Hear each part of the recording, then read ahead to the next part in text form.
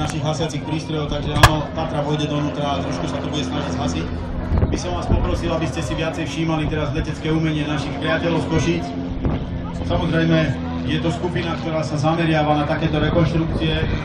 Je nám úplne jasné, že tieto lietadlá nie sú originály, avšak, avšak vieme, že vedia nám nasimulovať zvukové motoru, vzhľadom na to, že tieto motory sú podobné, alebo zvuk tých motorov je podobný tým zvukom, ktoré sa vtedy používali, samozrejme sú o, o, o, stovky koňov slabšie, ale aspoň nám nasimulujú, čo vtedy ľudia zažívali.